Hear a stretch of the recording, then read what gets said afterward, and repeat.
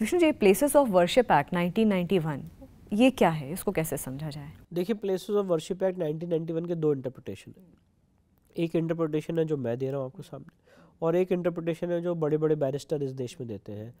और उनका इंटरप्रिटेशन है क्या? ज़रा इसको डिकोड करने की ज़रूरत है।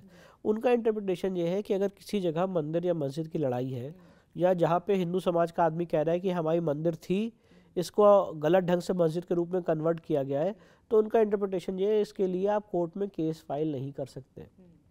इस बात को यही रोक दीजिए। ये समझौता हो चुका है नरसिम्हा राव के साथ 1991 में कि सिर्फ़ राम मंदिर के डिस्प्यूट पे जजमेंट आएगा, बाकी डिस्प्यूट्स पे जजमेंट नहीं आएगा, ना इसकी आप कोई कोर्ट में जाके बात कर सकते हैं। ये उनका इंटरप्रिटेशन है। मेरा इंटरप्रिटेशन है कि वो पॉलिटिकल एक नेरेटिव से ड्रिवन है, पर जो एक्ट में लिखा है वो आपने देखा नहीं है। प्लेसेज ऑफ़ वर्शिप एक्ट में जो सेक्शन चार सब क्लॉज वन में शब्द यूज़ है, वो है रिलीजियस कैरेक्टर कि जो जिस जगह का धार्मिक स्वरूप था पंद्रह अगस्त उन्नीस सौ सैंतालीस को वो वैसे ही रहेगा। तो धार्मिक स्वरूप, जैसे अभी मैंने आपको पहले डिस्कस किया, शास्त्रीय लॉ यही है कि once a temple always a temple तो जब आपने किसी मंदिर को, आपने जबरन कब्जा किया है, किसी मंदिर में घुस के नमाज़ पढ़ लेने से उसका धार्मिक स्वरूप नहीं बदलता है, वो मंदिर का ही रहता है।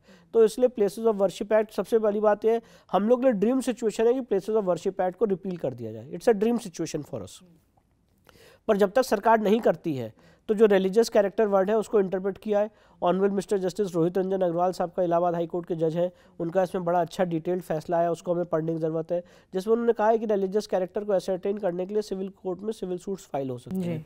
तो रिलीजियस कैरेक्टर एसरटेन हो रहा है और इसलिए प्लेसेस ऑफ़ वर्शिप एट कोई हर्डल नहीं है एज ऑफ़ नाउ पर अगर उसको रिपील कर दिया जाए तो वो हम लोग ने ड्रीम सिचुएशन है।